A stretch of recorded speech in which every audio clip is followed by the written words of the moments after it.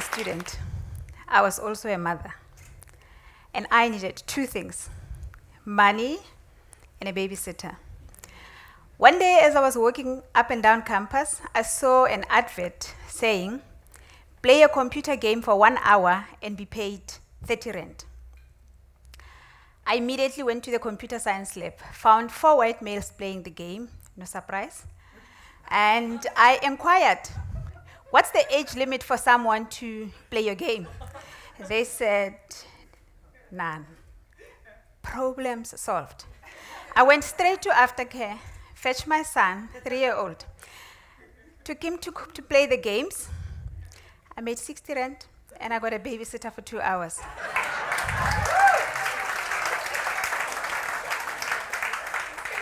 we are a family of gamers. That story started when I started dating my boyfriend, and he used to take me to his mom's work. He would play games for hours, Pac Man. And when he's tired, he will decide, let's leave. That was him taking me out. and that ritual became part of who we are. I would watch him and the kids playing game challenge with all his friends for hours and hours and me saving snacks.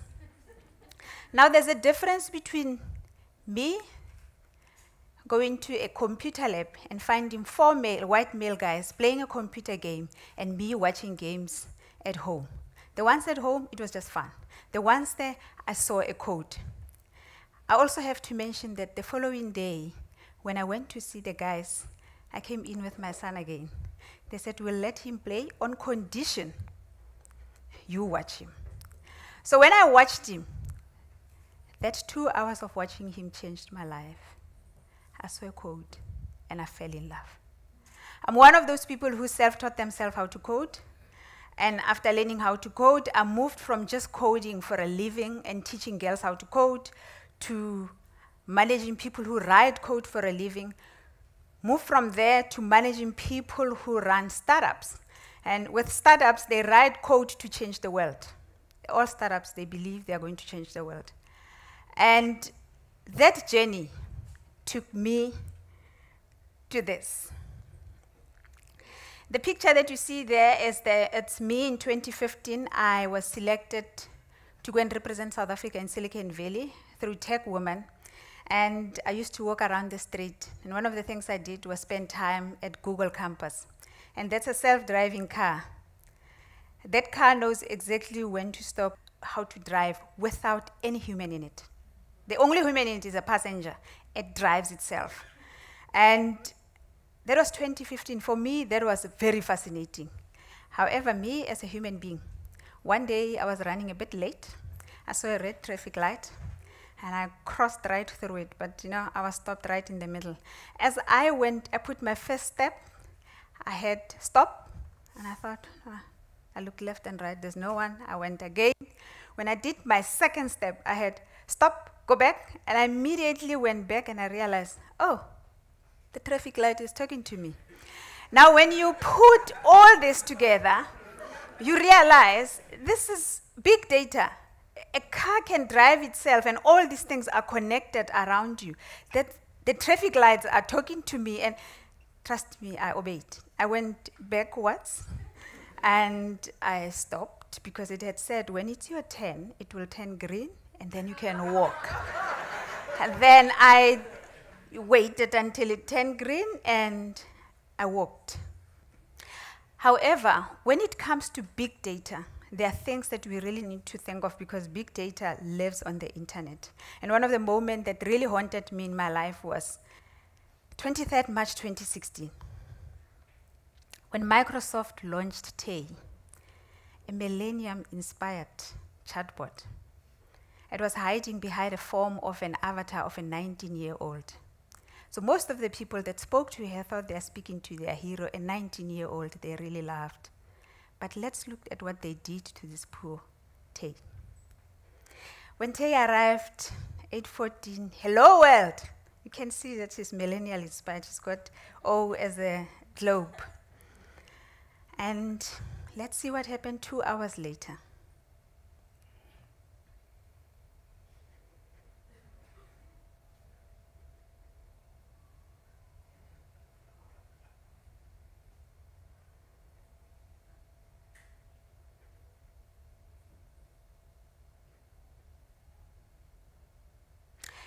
That was Tay's last tweet. And if you are sitting there asking yourself, how can human beings in 16 hours turn a chatbot into a Hitler loving, sexist, racist robot? You think about big data. Think about what we're putting every day on the internet and who have access to the internet. Those people who have access to internet also are perpetuating what we call algorithm bias. We all know when you write an algorithm, you're giving computers instruction.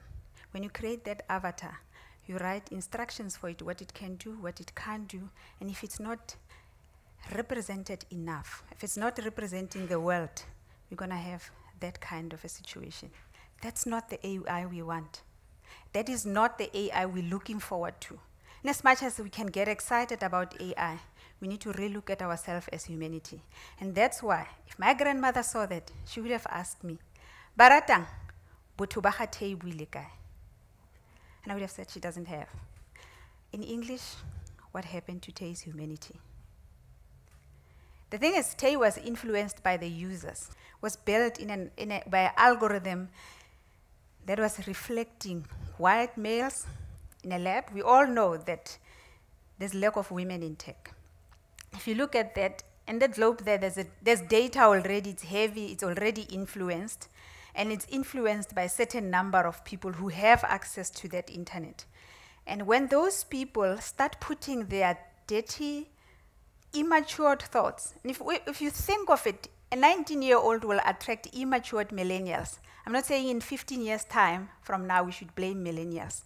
I'm saying we should think of our algorithms, involve everybody, be diverse enough to be able to influence when the designers pull that sample of information that they can design from. It should be reflective of ourselves and who we are. And they should bring diversity into their spaces to make sure that the people that are going to reach this information, because they are not building AI for today, they're building AI for the future. Today, it's 20 19. In 16 years' time, will, we can repeat the same mistake of what we did in the past. If you look at the next slide, there's women like Ada Lovelace, who wrote the first algorithm in the 18th century. There's Grace Hopper, who put together the first compiler. And then there's Katherine Johnson, who led the team that took us to the moon. And if you look at the history of what's on the internet, you hardly ever find these women. And that's why, if I was still talking to my grandmother, I know she believed white males are very intelligent. And I always told her they are very privileged. If you use your privilege properly, we will be able to change the world. The tech world is still very white and it's still very male. And we live in a world where you see people like me who want to involve everybody. And I formed GirlHype 16 years ago with the intention of getting more girls in tech. And I landed up in Tech Woman, self taught woman, belong to a group of women who travel the world and believe we can change the world through diversity and inclusion. And these women are reaching out to young girls and other women.